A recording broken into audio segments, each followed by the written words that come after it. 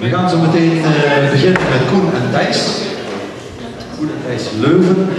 En eh, ja, ik had ze eigenlijk al een beetje aangekondigd. Ze spelen dan Remnants of a Soul op de piano en de contrabas. Waar zijn ze?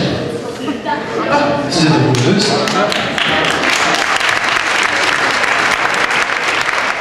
Oh.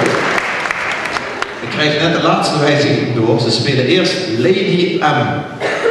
En waar staat die M voor? Dat eh, moet je aan. Dat moet ik aan je broer vragen. Is het een mooie vrouw of? Nou, het is een nummer dat ik wanneer, onder, ongeveer anderhalf jaar eh, geleden geschreven heb voor een goede vriendin van mij. Oh, prima. Hey. Goed om te weten. Dames en heren, Koen en Thijs met Lady M.